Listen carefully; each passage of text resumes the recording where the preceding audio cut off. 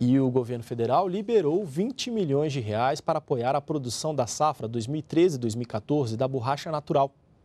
A ideia é que esses recursos ajudem a garantir o preço mínimo de venda da borracha. A medida é concedida ao produtor rural ou cooperativa que vende o produto pela diferença entre o preço mínimo estabelecido pelo governo federal e o valor arrematado em leilão.